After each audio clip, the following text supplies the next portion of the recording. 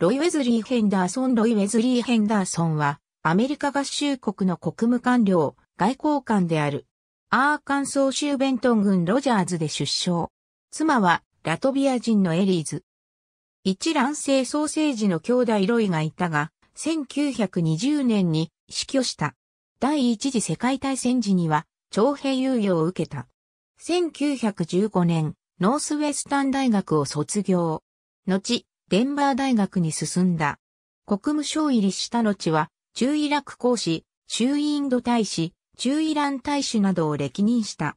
ギリシア内戦が進行していた頃に、国務省均等、アフリカ局長を務め、トルーマンドクトリンをはじめとする初期冷戦外交に関わった。1960年の退官後は、アメリカン大学で国際関係論を教えた。1986年、メリーランド州ベセスダにて死去。93歳。同年、回顧録、信頼という問題、米ソ外交関係の起源が出版された。ありがとうございます。